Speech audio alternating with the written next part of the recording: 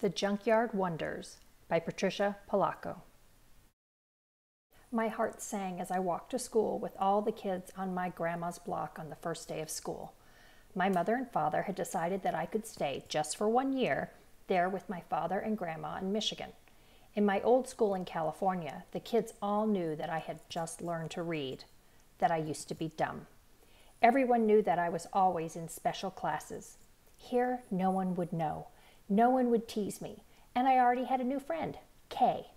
But when I got to the front steps of the school, all of the neighborhood kids ran off to their classes, and when I saw Kay and waved to her, she didn't wave back. I just stood there not knowing where to go. And when I showed two strange girls my class card, they got funny looks on their faces. You're in Mrs. Peterson's class, they said. Upstairs, room 206. Room 206. I found it. In the classroom, a gawky boy I had never seen before yelled out, Hey, the name's Thom, not spelled T O M, but T H O M. Sit here next to me. He had huge dark rimmed glasses that magnified his eyes. I sat down and looked around. Everyone seemed really different in one way or another. I couldn't put my finger on it. Suddenly, everyone snapped to attention. Our teacher was standing in the doorway. Short and stout, she seemed a little scary, brusque. But her eyes, her eyes were friendly, I was sure of that. She walked up to the podium at the front of the room and slammed an enormous dictionary on top of it. Then she adjusted her glasses and without saying hello or how are you, she started reading in this no nonsense voice. The definition of genius, she began. Genius is neither learned nor acquired. It is knowing without experience. It is risking without fear of failure. It is perception without touch. It is understanding without research. It is certainty without proof. It is ability without practice. It is invention without limitations. It is imagination without boundaries. It is creativity without constraints.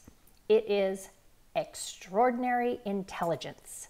Then she took a deep breath and slammed the book shut so hard it sounded like a gunshot. Welcome to the junkyard. I am your teacher, Mrs. Peterson. She started walking around the room looking at each of us. I want you all to write the definition on the blackboard. Post it on your mirrors. Look at it every day. Memorize it. The definition describes every one of you. At recess that day, I couldn't wait to ask Thom, why is our class called the junkyard? Because we are, uh, didn't you notice, um, all of us are different, you know, odd, like stuff in a junkyard. He turned toward the playground.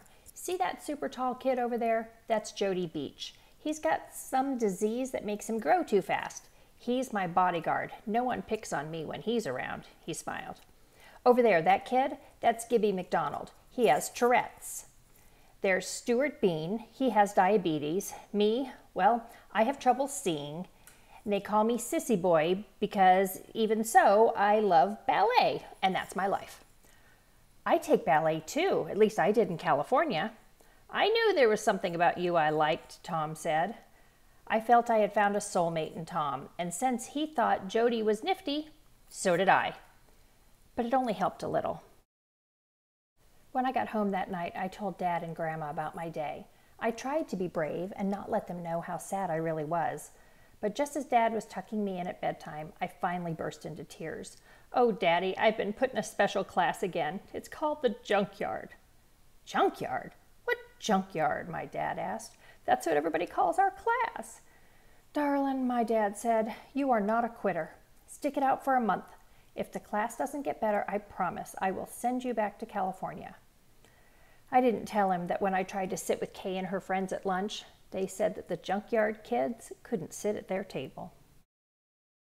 The next day, Mrs. Peterson arrived in class with a basket full of small glass bottles. Today, she said, we are going to determine your tribes. She gave us each a vial. Tip some of the liquid on your wrist. Mmm, smell? Some of you smell like lemons, some cinnamon, some almonds. Now, can you smell someone who has the same scent as you? They will be part of your tribe for the year. I sniffed my own wrist. Vanilla! We all strolled around the classroom sniffing each other's wrists. I sniffed a boy's wrist who was wearing a homespun shirt, and he sniffed mine. Vanilla, we both said. My name's Gilbert McDonald. Call me Gibby. And then the two of us fanned out. I found a girl who smelled like vanilla. Looks like you are in my tribe, I chirped. She just smiled, but didn't answer me. Gibby came over then with Thom. Vanilla, he announced. My bodyguard Jody is too. So Thom, Gibby, Jody, and I were a tribe. I asked the shy girl her name, and she wrote it down on a piece of paper. Ravaine Celez. Thom told me later that she hadn't spoken for as long as he had known her. From then on, whenever there was a project to be done, Mrs. Peterson had the tribes work together. Ravaine never talked, but she was a whiz at math.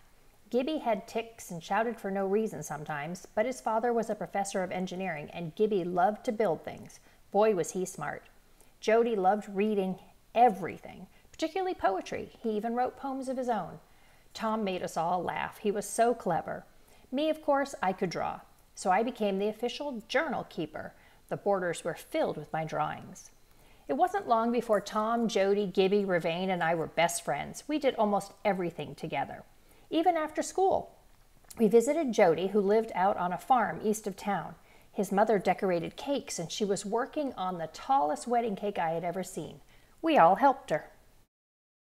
One night, Gibby's dad set up a telescope in his back field and invited the whole class over to look. We could see Saturn with our naked eyes, but with the telescope, we could see Saturn's rings. We never did go to Ravaine's house. She lived in a foster home, and I don't think she was too happy there. But her foster mother let her paint beautiful designs on silk from an old World War II parachute, which she brought to school to show us. My dad arranged for the whole class to go to a neighbor's farm and have a hayride that took us way off into the fields. Our class was special, all right. The junkyard kids were pretty amazing to begin with, and Mrs. Peterson showed us how to shine. She even helped us make badges that said the Junkyard Wonders. So you can be proud of who you are, she said. That day we got the badges, this mean boy came running up to us. Weirdos, retards, now you even wear dumbbell pins. A boy named Barton Poole grabbed the pin off of my shirt. I started to cry, but then Thom and Gibby ran at Barton and his friends. Right, one of his friends said. Now Twinkletoes and duh, duh, duh, the jerking fool are going to hurt us. We are so scared. Just about then, Jody, big, wonderful Jody, appeared from nowhere. The mean boys were sure backed off. Some day you aren't going to have this freak to guard you, Barton snarled as he stalked away. That day, Mrs. Peterson could see that we were badly shaken. Gibby finally spoke up. Mrs. Peterson, he said, we're all junkyard kids. Even though you try to make us feel better about it, we're throwaways, junk, and everyone knows it. Oh, my dear, that's where you are wrong, she said wistfully. Every one of you is my wonder. Don't you realize what a junkyard really is? A place for things that nobody wants, Jody answered. oh, it is a place full of wondrous possibilities. What some see as bent and broken throwaways are actually amazing things waiting to be made into something new, something unexpected, something surprising. We all looked puzzled. All right, class, get your coats. We are walking to the Melvin Beach junkyard right now, she exclaimed. At the junkyard, Mrs. Peterson stopped us. Now form into your tribes, then collect everything that you think could be made into something new. Remember, Wonders, here's your chance. Forget what the object was. Imagine what it could be. Each of the tribes set off across the junkyard collecting wheels, doors, handles, latches. We vanillas hadn't gotten just the right junk, though, until almost the end of our visit. As Jody, Ravaine, Thom, and I were climbing over our last pile of assorted junk, Gibby called to us. He was standing under a shed roof looking up. There, hanging from the roof strut, was an old wrecked model airplane. Gib, that's just an old torn up plane, Thom said, turning to leave. No, Gibby said, it's a beauty. I see it. We are going to rebuild it into something bigger, better, something wonderful, something that will defy gravity itself. This plane is going to fly all the way to the moon. There was such wonder in his eyes that we knew we had just what we needed. For the next few weeks, during the last hour of our class time, we worked on our new inventions. As we hammered and sawed and cut, Mrs. Peterson read to us Great Expectations, David Copperfield, and sometimes poetry. But every day, Mrs. Peterson reminded us some people look at things the way they are and cry, Why? But I want you to look at things and see what they could be and ask, Why not? Gibby was the boss of our plane project. We removed all the outer skin, built in new balsa struts, and repaired a lot of the skeleton. Ravain replaced the old skin with pure silk. Finally, we painted the rebuilt plane with low resistance lacquer. But would it fly? The day came when we were to present our stupendous projects. The Cinnamon tribe was first. They unveiled a tangled sculpture of hollow tubes. Well, Mrs. Peterson asked the Cinnamons, what is your invention? A vibraphonium, the Cinnamons called out. It took three people to play it. Fabulous!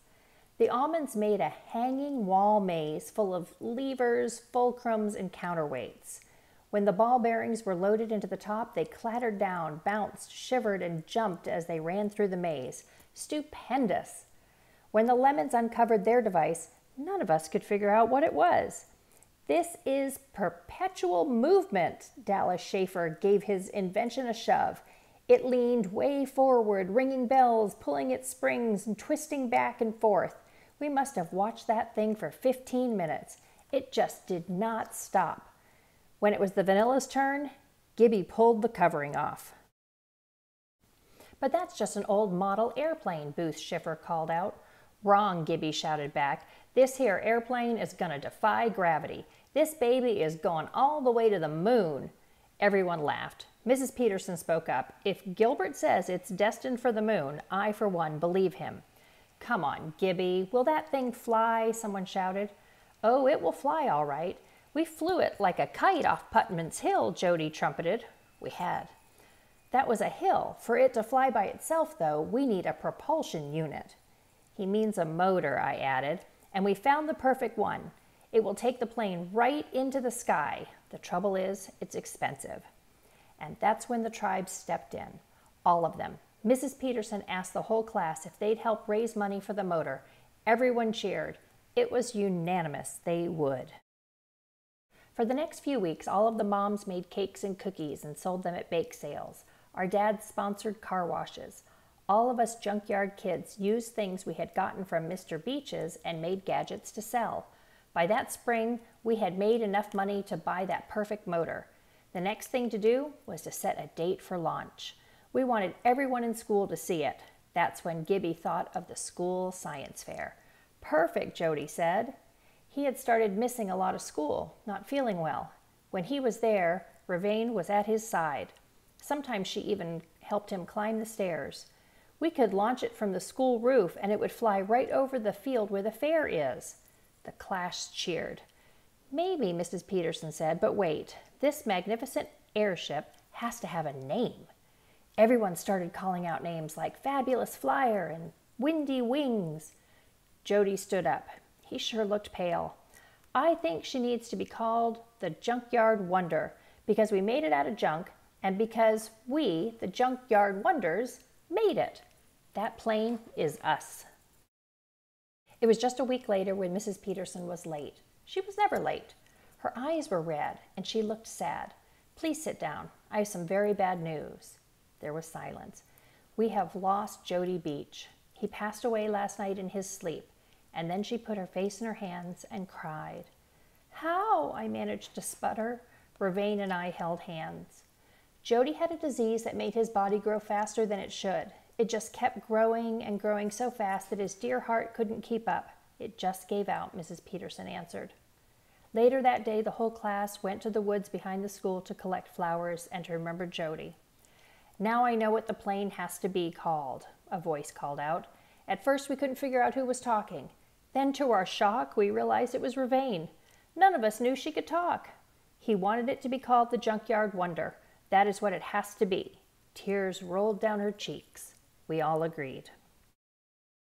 Gibby's dad mounted the motor on the machine and placed it on a table at the back of his workshop. When we saw it, we all gathered around. It was so beautiful. We tried it out more than once from the hill in back of Gibby's house. It seemed to work, but would it work from the roof of the school on fair day? And would we even get a chance to try? The stairway to the roof was always locked. Maybe Mr. Weeks, the janitor, would help us get to the roof? I think he will, Mrs. Peterson said, but it will have to be a secret. The day before the fair, we could hardly contain ourselves. Would newspapers be there? Scientists from the nearby university? We huddled together out on the playground, chattering about our plans for the launch. Cheese it! Look who's listening, Thom warned. It was Barton Poole. He had heard everything. He leaned into Gibby's face. Your dad wears skirts. And then he sneered, and no one's allowed on the school roof. Got it? No one. And I'm telling the principal about your stupid plans. And sure enough, when we got back to our classroom, the principal was waiting for us, and Barton Poole was with him. I have been informed of your plans for the science fair, Mrs. Peterson. There will be no launching from the school roof and no fuel driven airplanes anywhere on the school grounds. It could be very dangerous. Mr. Weeks will keep your plane in the janitorial closet until the end of the school year. The principal turned on his heel and left the room. Mr. Weeks looked very sad as he carried the Wonder out of the classroom. Sorry, kids, he said. We were stunned. Ravane started crying. This was going to be for Jody, she whispered. Mrs. Peterson said nothing for a time, and then she began. We are going to launch the Wonder tomorrow, just as planned. And from the roof, Mrs. Peterson told us to be at Mr. Weeks' closet tomorrow morning, the morning of the fair. Our secret weapon turned out to be Mr. McDonald, Gibby's dad. If Mr. McDonald stayed with us during the launch, the principal was okay with it. We couldn't believe the good news. Mr. Weeks handed the wonder to Gibby's dad. Let's take her up, he said to us. On the roof, we could see kids pouring onto the field to look at the science exhibits that were being set up. Ravane pulled gorgeous silk streamers that she had hand painted out of a bag and let them stay rolled up on the edge of the roof. Then, with Thom's help, Gibby and his dad put the wonder in place. They carefully connected the engine to a car battery, then primed the pump to deliver the fuel from the tin sitting next to it into the engine. Then they pumped the fuel into the plane. We all stood back and watched. Maybe it'll go all the way to Lansing, I speculated. Maybe even Detroit, Thom said. Maybe around the whole world, Ravine whispered. No, Gibby said with a grin. This baby is going all the way to the moon. When the whole school was assembled on the field, Mrs. Peterson signaled Gibby's dad to begin the countdown to start the engine. Mr. McDonald knelt in front of it while Gibby held the plane still, spinning the propeller over and over again but the engine didn't catch on. We held our breaths. Pump the intake again, Mr. McDonald said to Gibby. He asked some of the boys to hold on to the Wonder, and you have to let it go just at the right moment, or it will bank left or right. Understand? He spun the propeller a few more times, and then with a loud bang and a roar, the propeller started spinning. Blue smoke puffed out. Everyone in the field yelled, and somebody looked up to the roof. That was when Ravane unfurled her barriers down the side of the building. Almost to speed, Gibby's dad hollered, 10, 9, 8. And when he got to 1, Mr. McDonald hollered, Let her go. The junkyard wonder shot out of everybody's hands. It was airborne. First, it went over the field, and then, as suddenly as it had started, it sputtered and it seemed to stall. Then the engine roared to life again with a noise that was deafening. The Wonder's nose pointed straight up, up, and up, straight toward the sun. We all ran to the wall of the roof and watched breathlessly as it streaked through the cloud cover, then appeared above, ever skyward, straight to the stratosphere. We all watched until it became a speck in the sky. Then we couldn't see it anymore. Even though the science department from the local university was there, along with the school board and the newspapers, for all of us, it was only Mrs. Peterson that mattered, and Jody. Tears glistened in Mrs. Peterson's eyes as she watched the wonder climb into the heavens. Like I said, Gibby whispered, that baby is going straight to the moon. Patricia Polacco ends the book by telling us what happened to these characters. Thom went on to become the artistic director of the American Ballet Theater Company in New York. Ravane became a textile designer and was eventually invited to Paris to design for the fashion industry. Gibby went on to be an aeronautical engineer for NASA. He worked on the lunar modules for the Apollo missions. And he shared that he had stowed a picture of his classmates on the lunar module of Apollo 11 so that all of the wonders really did make it to the moon after all.